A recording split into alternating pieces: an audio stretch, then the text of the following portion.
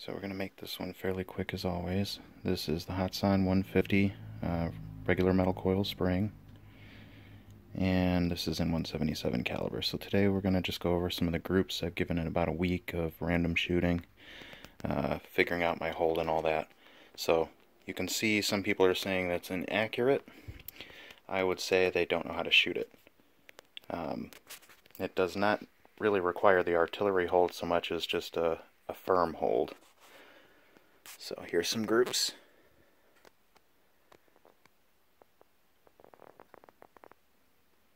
And yes, these are the pellets that I'm using right now.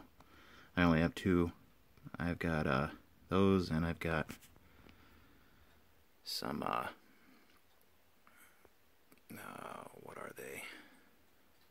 Crosman Premier 10.5s.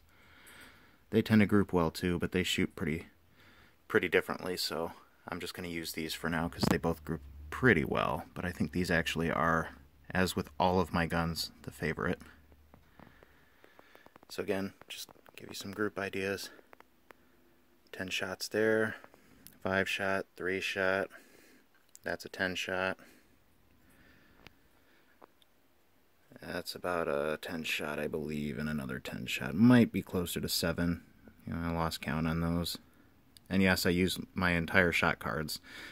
So I just cover up all the other groups that I've done with various things.